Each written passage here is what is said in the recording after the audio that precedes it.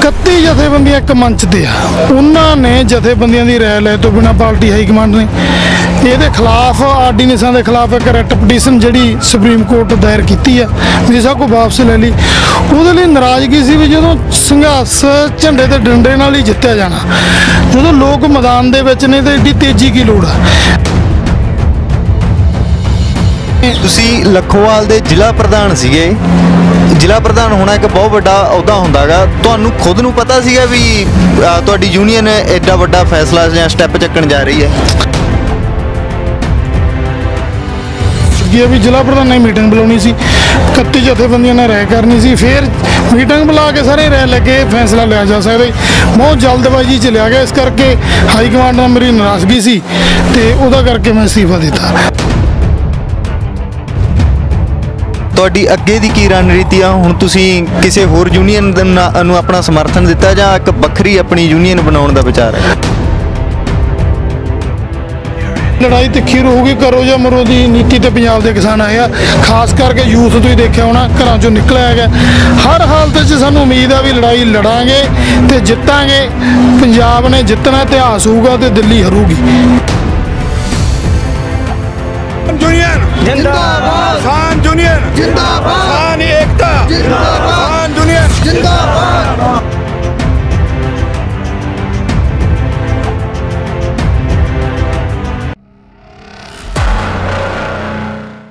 ਜੀ ਹੁਣ ਸਾਡੇ ਨਾਲ ਮੌਜੂਦ ਨੇ ਜਗਸੀਰ ਸਿੰਘ ਸੀਨੀਵਾਲ ਭਾਰਤੀ ਕਿਸਾਨ ਯੂਨੀਅਨ ਲੱਖੋਵਾਲ ਦੇ ਸਾਬਕਾ ਜ਼ਿਲ੍ਹਾ ਪ੍ਰਧਾਨ ਉਹਨਾਂ ਨਾਲ ਗੱਲਬਾਤ ਕਰਦੇ ਹਾਂ ਕਿ ਉਹਨਾਂ ਨੇ ਲੱਖੋਵਾਲ ਯੂਨੀਅਨ ਤੋਂ ਕਿਨਾਰਾ ਕਿਉਂ ਕੀਤਾ। ਸਤਿ ਸ਼੍ਰੀ ਅਕਾਲ ਜੀ ਲੋਕ ਰੰਗ ਪੰਜਾਬੀ ਚੈਨਲ ਤੇ ਤੁਹਾਡਾ ਸਤਿ ਸ਼੍ਰੀ ਅਕਾਲ ਸਾਰੇ ਜਿੰਨੇ ਵੀ ਸਰੋਤੇ ਦੇਖਦੇ ਆ ਸਾਰਿਆਂ ਨੂੰ ਸਤਿ ਸ਼੍ਰੀ ਅਕਾਲ।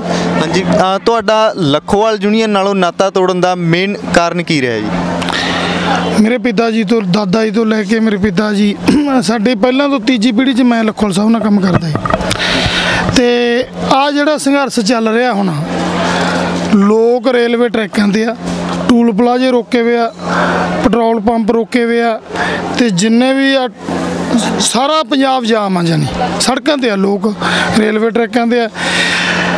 31 ਜਥੇਬੰਦੀਆਂ ਇੱਕ ਮੰਚ ਤੇ ਆ। ਉਹਨਾਂ ਨੇ ਜਥੇਬੰਦੀਆਂ ਦੀ ਰਾਏ ਲੈ ਤੋਂ ਬਿਨਾ ਪਾਰਟੀ ਹਾਈ ਕਮਾਂਡ ਨੇ ਇਹਦੇ ਖਿਲਾਫ, ਆਰਡੀਨੈਂਸਾਂ ਦੇ ਖਿਲਾਫ ਇੱਕ ਰੈਟ ਪਟੀਸ਼ਨ ਜਿਹੜੀ ਸੁਪਰੀਮ ਕੋਰਟ ਦਾਇਰ ਕੀਤੀ ਆ। ਵੀ ਸਭ ਕੋ ਵਾਪਸ ਲੈ ਲਈ। ਉਹਦੇ ਲਈ ਨਾਰਾਜ਼ਗੀ ਸੀ ਵੀ ਜਦੋਂ ਸੰਘਰਸ਼ ਝੰਡੇ ਤੇ ਡੰਡੇ ਨਾਲ ਹੀ ਜਿੱਤਿਆ ਜਾਣਾ। ਜਦੋਂ ਲੋਕ ਮੈਦਾਨ ਦੇ ਵਿੱਚ ਨੇ ਤੇ ਏਡੀ ਤੇਜ਼ੀ ਕੀ ਲੋੜ ਆ? ਬੇਸ਼ੱਕ ਇਹ ਨਹੀਂ ਕੋਈ, ਮੈਂ ਨਹੀਂ ਚਾਹੁੰਦਾ ਵੀ ਸੁਪਰੀਮ ਕੋਰਟ ਜਾਣਾ ਗਲਤ ਹੈ ਸਵਾਮੀਨਾਥਨ ਲਈ ਵੀ ਅਸੀਂ ਸੁਪਰੀਮ ਕੋਰਟ ਗਏ ਆ ਜਿਹੜੀ ਐਸਵਾਈਐਲ ਨਹਿਰ ਆ, ਉਹਦੇ ਲਈ ਵੀ ਸੁਪਰੀਮ ਕੋਰਟ ਪਹਿਲਾਂ ਗਏ ਪਹਿਲੀ ਲੜਾਈ ਜੇ ਇੱਥੋਂ ਕੋਈ ਨਹੀਂ ਹੱਲ ਹੁੰਦਾ ਉਸ ਤੋਂ ਬਾਅਦ ਆ। ਇੱਕ ਅਦਾਲਤਾਂ ਤੋਂ ਲੋਕਾਂ ਨੂੰ ਕੋਈ ਭਰੋਸਾ ਨਹੀਂ ਰਿਹਾ ਹੁਣ। ਜੇ ਰਾਮ ਮੰਦਰ ਦਾ ਲਾ ਲਓ ਵੱਡੇ ਵੱਡੇ ਮੈਟਰ, ਜਿੰਨੇ ਪਬਲਿਕ ਦੇ ਮੈਟਰ ਸੀ, ਉਹਦੇ 'ਚ ਲੋਕਾਂ ਨੂੰ ਨਿਆਂ ਨਹੀਂ ਮਿਲਿਆ ਸੁਪਰੀਮ ਕੋਰਟ 'ਚੋਂ। ਉਹ ਸਰਕਾਰਾਂ ਦੇ ਹੱਕ 'ਚ ਹੀ ਹੋਏ, ਇਸ ਕਰਕੇ ਨਾਰਾਜ਼ਗੀ ਲੋਕ ਵੀ ਮੈਨੂੰ ਕਹਿੰਦੇ ਸੀ, ਤੇ ਮੈਨੂੰ ਆਪਦੇ ਮਨ ਨੂੰ ਵੀ ਲੱਗਿਆ, ਤੇ ਸਾਰੇ ਜ਼ਿਲ੍ਹੇ ਨੇ ਤੁਸੀਂ ਲੱਖੋਵਾਲ ਦੇ ਜ਼ਿਲ੍ਹਾ ਪ੍ਰਧਾਨ ਸੀਗੇ। ਜ਼ਿਲ੍ਹਾ ਪ੍ਰਧਾਨ ਹੋਣਾ ਇੱਕ ਬਹੁਤ ਵੱਡਾ ਅਹੁਦਾ ਹੁੰਦਾਗਾ। ਤੁਹਾਨੂੰ ਖੁਦ ਨੂੰ ਪਤਾ ਸੀਗਾ ਵੀ ਤੁਹਾਡੀ ਯੂਨੀਅਨ ਐਡਾ ਵੱਡਾ ਫੈਸਲਾ ਜਾਂ ਸਟੈਪ ਚੱਕਣ ਜਾ ਰਹੀ ਹੈ?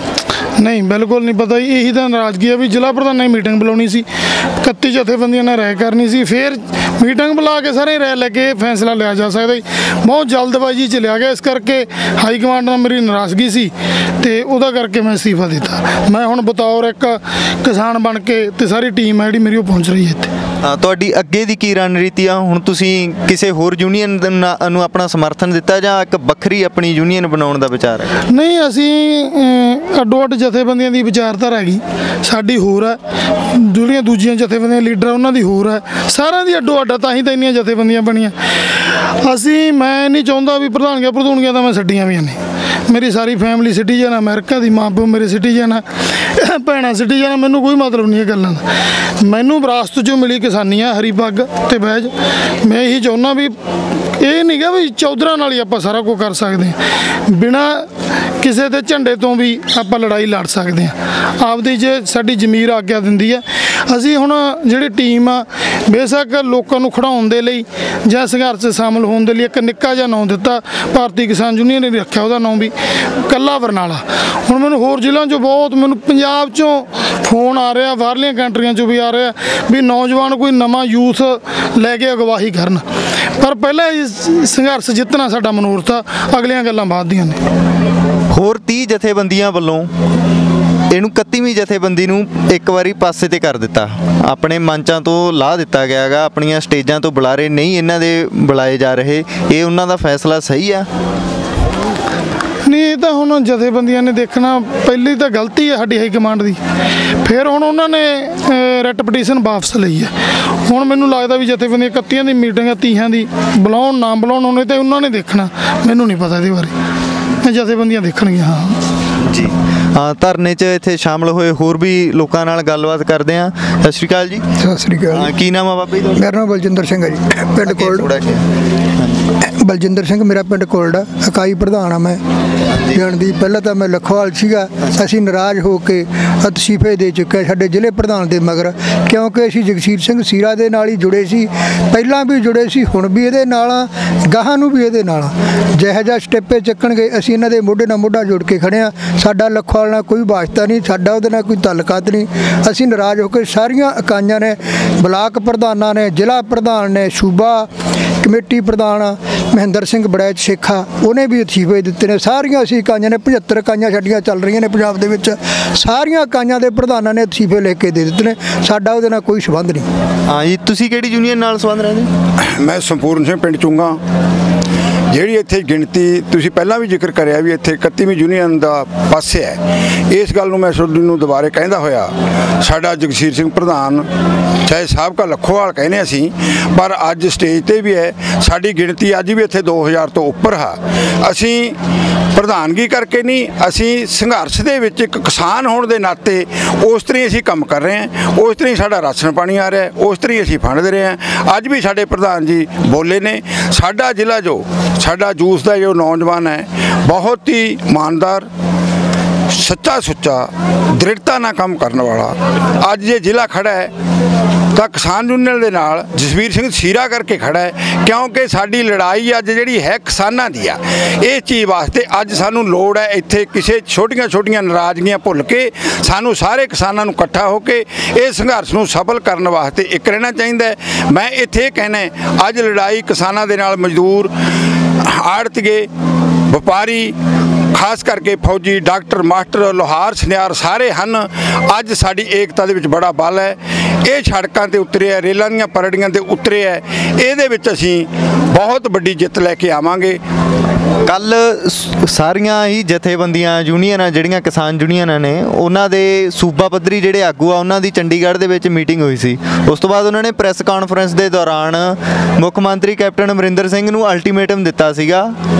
ਇਜਲਾਸ ਸੱਦਣ ਦਾ, ਵਿਧਾਨ ਸਭਾ ਦਾ ਇਜਲਾਸ ਸੱਦ ਕੇ, ਜਿਹੜੇ ਕੇਂਦਰੀ ਖੇਤੀਬਾੜੀ ਕਾਨੂੰਨ ਆ, ਉਹਨਾਂ ਦੇ ਖਿਲਾਫ ਮਤੇ ਪਾਸ ਕਰਨ ਦਾ। ਕੈਪਟਨ ਅਮਰਿੰਦਰ ਸਿੰਘ ਨੇ ਉਹ ਸਿਰੇ ਤੋਂ ਖਾਰਜ ਕਰਤੇ ਆ, ਉਹਨਾਂ ਬਾਰੇ ਕੀ ਕਹਿਣਾ? ਰਾਜਨੀਤਿਕ ਲੋਕ ਪਹਿਲਾਂ ਤੋਂ ਹੀ ਚਾਲਾਂ ਚੱਲਦੇ ਆਏ ਨੇ, ਪਰ ਕਿਸਾਨ ਯੂਨੀਅਨ ਨੇ ਉਹਨਾਂ ਨੂੰ ਠਕਰਾਇਆ ਹੈ, ਜਿਹੜਾ ਉਹਨਾਂ ਨੇ ਸਮਾਂ ਦਿੱਤਾ ਸੀ, ਉਹਨਾਂ ਨੇ ਬਾਅਦ ਚ ਕਿਹਾ ਵੀ ਮੈਂ ਸੋਚੂੰਗਾ ਕਰੋਨਾ ਹੈ। ਕਰੋਨਾ ਤਾਂ ਦੋ ਦਿਨ ਦਿਨ ਪਹਿਲਾਂ ਵੀ ਸੀ, ਜਦੋਂ ਰਾਹੁਲ ਆਇਆ ਸੀ, ਉਦੋਂ ਕਰੋਨਾ ਕੋਈ ਨਹੀਂ ਸੀ। ਇਹ ਰਾਜਨੀਤਿਕ ਦੇ ਬਹਾਨੇ ਹੈ ਪਹਿਲਾਂ ਤੋਂ ਹੀ ਚੱਲਦੇ ਆਏ ਹੈ ਕਿਸਾਨ ਏਕਤਾ ਇੱਕ ਹੈ, ਇਹਦੇ ਮੂਰੇ ਝੁਕਣਾ ਪਊਗਾ ਅਵਰਿੰਦਰ ਜੀ ਨੂੰ ਵੀ ਝੁਕਣਾ ਪਊਗਾ, ਅਸੀਂ ਕਹਿੰਦੇ ਇਹ ਜਿਹੀਆਂ ਗੱਲਾਂ ਨਾ ਕਰ, ਤੇ ਉਹਨੂੰ ਇਹ ਕਰਨੀਆਂ ਨਹੀਂ ਚਾਹੀਦੀਆਂ। ਉਹਨੂੰ ਮਤਾ ਪਾ ਕੇ ਕਿਸਾਨਾਂ ਦਾ ਸਾਥ ਦੇਣਾ ਚਾਹੀਦਾ।